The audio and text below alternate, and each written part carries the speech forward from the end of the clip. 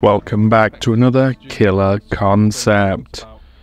Today we have a killer that is based off of the Little Shop of Horrors film. If any of you have seen that, you know exactly what I'm on about. If you haven't, bit of information for you.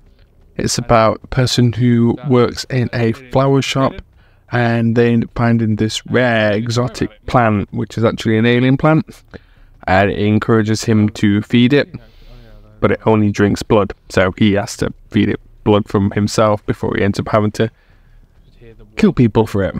Spoilers. but no, it's a really old film. Uh, if you get the chance, to watch it. I highly recommend it. But yeah, so this killer is based off of him, and he's a lot like a zone killing killer. Blocks off areas and prevents survivors from going to certain places. But without further ado, let us get right on into the information for this killer. As of their speed, they are 4.4 meters per second killer, so on the lower end. But it is only because they are actually a small person, and that is their height. They are actually a small height. Uh, their terror radius, since they're only a small person, is 24 meters, so small terror radius again, which works brilliantly for this killer. And their weapon is one of two things. They can either use their garden shears or their ability. And saying that, why don't we get on to their ability? Carnivorous fauna. You can plant up to three, maybe four plants across the map. These plants grow into three different stages. They are planted at stage one, and after some time we'll go to stage two, then after some time we'll go to stage three. Stage one is the most basic of these plants. Basically attacks any survivors that get too close to it in its cone of attack, and it would inflict them with deep wound. Yes, inflicting a health state on them. It cannot take them out of deep wound in stage one though. So if you're already deep wounded and you walk past it, there is nothing it will do to you. Stage 2 It allows it to break objects, such as if a person has pulled down a pallet in that area, that'll be destroyed. If there is a wall that is blocked off, it'll break them. And generators close by to this plant, you might as well forget about them because it will constantly damage the generator. You can work at it, but it will put you into deep wound if you're not already in it. So, only work on them if you're injured. Though I would highly recommend you don't, because stage 3 allows it to be even worse. It allows to be able to down survivors who are in the deep wound state. And yes, they can still put you in the deep wound state. After some time after they put you in that, they can then attack you and put you down into it. So, do be very careful or very quick moving through these areas. On top of being able to put you into the down state, they can also drag you to the closest hook in the area they cannot attach you to a hook, but they can drag you towards it and leave you right in front of the hook. So when the killer comes, they can just pick you up and hang you straight on it right away without any worry whatsoever. Now, I did say that their weapon can also be a version of these plants, and that is because you constantly have a plant in your hand. It allows you to attack survivors and put them into deep wound state. Though it's not a very long ranged attack, and after you attack someone with it in hand, you have to wait a few minutes before you can use it at all. That includes replanting one, if you need to. No matter how many you have on the field, you will always have one that you can use in your hand, even though you cannot plant that one that you have in your hand. On top of that, for the survivors, to help them get through this terrorizing game quite a lot more, they're able to make Plant Killer, or Weed Killer for each stage, it oh, requires another set of weed killer. So you want to kill a stage 3 plant, you need 3 lots of weed killer. You want to kill a stage 1, one piece of weed killer will do it perfectly fine. Now, that does make it more difficult for the survivors, though the weed killer is made constantly throughout the map, and each station you can collect a map will have 2 as a maximum. So just remember, the higher the stage, the more you'll have to use it. Though after you kill the plant, the killer can just place a new one whenever wherever. So always be on your toes. Now, let's go on to their perks. Originally when I had this character, because I do write these out now, especially with their perks, I had two different sets of three perks. And I picked the best out of each ones. The ones I think would work the most. And the ones I think would be funnest. So, let's get into perk 1. Toxic Herbology. When a survivor heals, it takes three times longer. And whenever they miss a skill check, Ah, they also scream, making it easy for you to find them. Perk 2 is Hex Soul Song. A big part of the film is that the plant can sing, so I thought it would be quite fun to make that into a perk. Once a survivor is hit, any sound that a killer can make will be as if they were right on top of that survivor. You break a pallet anywhere, it sounds like you broke a pallet right behind them. You attack someone and down them, it sounds like they've just been downed right next to you. Not a huge inconvenience, but enough to make it so they have no idea where you are. For the sole fact of your killer radius will be like you were right next to them as well. So, they can keep it up and play the game perfectly fine. But would you really want to do that? Hell, Lastly, perk three. much, it's been a pain in my butt. Twisted Partnership. Actions across the game are linked. That means that if a survivor decides to stun you with a pallet, all survivors, including the one that stunned you, are stunned for a few seconds. Though to help them with that, they also do get the speed boost afterwards just to get them out of the way a little bit. If they are blinding you with a torch, they all also get blinded. It's just little things here and there. On top of skill checks for the survivors. They fail a skill check on a generator. Anyone who's working on a generator will have their skill check I know my missed and blow that gen.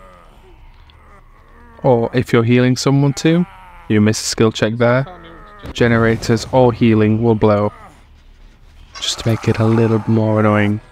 Though it is only a hex, so they get rid of the totem, and things will go perfectly back to normal. Well, normal enough. Now, as I've been doing lately with these, though, we're going to go right into their lore. Now, for you, those of you that have seen the Shop Horror film, you'll be there like, this is nothing like it. Not very close to it at all. And the ones that you don't haven't, don't take this for the way which the film is. The film is different. This is just That a representation of what a killer could be if they were they if they were inspired by Little Shop of Horrors. But yeah, let's get right into their lore. This person was just like Claudette, loved plants, knew a lot about them too. Ironically, they were pretty good friends with Claudette. Before she disappeared, at least, anyway. Whether Claudette remembers this person or not is unknown. After all, who knows what the realm does to your mind. But this person didn't start looking for her. No, no, they had their own goals in mind. They were looking for an incredibly rare plant. I couldn't tell you the name myself. I'm no botanist.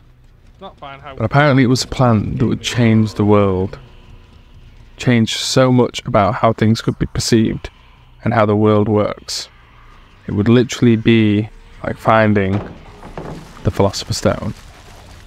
Or so they say. Through many years of ruthless research, treacherous searching, and going to all manner of places, following any small bit of lead that they could find to manage to find this object, find this plant. Eventually, they found it. A very rare plant. They only found one of them, however. They presumed more would be growing in that area, but it wasn't an area they wanted to stay in. It was an area they almost died in a few times just getting here. So one plant would be good enough, and if it looked like it was wilting, he'd take a cutting and try and grow a separate one. Eventually, he managed to take it home and started caring for it. Though, there was stuff that was happening to this plant, stuff that was never recorded, or at least no one wanted to record it. if this was how the plant truly was. The entity itself had been messing with this plant, messing with it since the day it decided it wanted the botanist, for it knew that he would be a very useful ally. It corrupted to the point that it became sentient, much like the one in the film. Its sentience was fascinating and amazing. Nobody knew that a plant could explain its feelings or say what it wanted. But this one wanted blood. It would not eat much, and the only thing that would satiate it was hemoglobin, which many of you know is inside blood. True, there are other ways you can get it, but blood was the easiest way. And, well, the botanist didn't mind bleeding himself just a little bit. After all, plant wasn't very big, it was a very small plant. At first, anyway. He kept on feeding it his own blood, more and more, until it eventually got to the size of the room, almost the size of his greenhouse that was outside. He had to move it. He couldn't keep it in the house any longer, and it most definitely would not fit in that greenhouse anymore. So he had to plant it in his garden. Luckily, being a botanist, he had such a huge garden, so he planted it at the very bottom, away from where anyone else would be able to see it or notice anything happening. He kept trying to feed it his own blood, though those drops that he could give were not enough. A few times he went out there and found bones littered on the floor. Only animal ones, small ones. Wild rabbits or foxes and badgers that roamed in the forest nearby. But this wasn't enough for the plant. It was too big now. Small creatures like that weren't worthwhile, and deers wouldn't go anywhere near this thing. They had prey responses. They knew this thing was something to be feared, so they steered clear away. The botanist knew what he needed to do.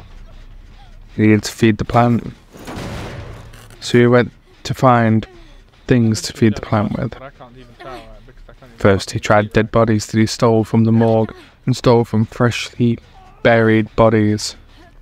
Though, as we all know, hemoglobin doesn't last very long in dead bodies. So it got some nutrients from it, but nowhere near enough. It threatened to eat the botanist and go and find its own food if it couldn't feed it. He knew this wasn't worthwhile having. living was painful for him to be able to think of sacrificing people to this creature. The letting it rampage on its own, well, that is a much worse fate. Eventually, he found someone, a man, drunk off of his house, out of the pub in the night. He managed to encourage him to bring her home, said he'd shelter him for a while. Turns out, he was homeless, so he had nowhere to go, and he was more than willing to follow the botanist. The oh. plant ate him up with joy. But, as it ate, it grew, needing more. So the botanist kept on getting more and more people until it got to the point that people started to notice that lots of people were disappearing in very quick succession. Botanist was freaking out. He didn't know what to do. He didn't know where to go, how to change this and stop the plant from wanting to eat more. Till a voice whispered, and the plant was also responding to it. Plant mentioned it was an old friend of his, someone who he knew, that knew how to feed it. And it could help. Botanist didn't care for what the plant said, though he wanted to hear the voice in his head. That it knew how to feed this thing without causing much harm to anyone at all. He won't have to kill people anymore, just feed people to the plant. And do as the voice said. And the plant would never get out of control ever again. He accepted this offer. A way in which he could manage to get people without physically killing them properly himself. A way to feed this plant and stop it from being terrorizing anywhere. And with that, the plant started laughing. It laughed hard as oozing sap came out of its mouth. looked like tar as it consumed the botanist and even the plant itself. The botanist emerged in the realm, greeted by other people. Well, they thought he was another survivor. That was until the plant emerged behind him and just ate one of the survivors. That is how the botanist came into the realm, seeing the only friend that he knew, Claudette, running in fear from the new killer. access the trap door if I find Thank you guys so much for listening. Uh, this was The Botanist, will. based off of Little Shop of Horrors. If you enjoyed this, do leave a like. If you have anything that you would like me to make based off of book series, films, TV shows, or anything, I will make a killer for it. Even if you, even if you think that you don't want this person to be a killer, that you want me to make, you want me to make a survivor based off of this person, let me know in the comment, and I will make a survivor. Who, who knows? It might become a new series of creating survivors. After all, I do have survivors based for all of my other killer concepts. I've just never published them. But if it's something you guys want, I'm more than willing. And without further ado, if you enjoy what I'm doing, hit the subscribe button and you'll be notified of when my next killer concept comes out. My shorts are now coming out based off of my old killer concepts, and I've also got a TikTok where the shorts are also going with the same handle. So do feel free to check them out. And without further ado, this Cerberus is going to water his plants before they get too hungry. Ow!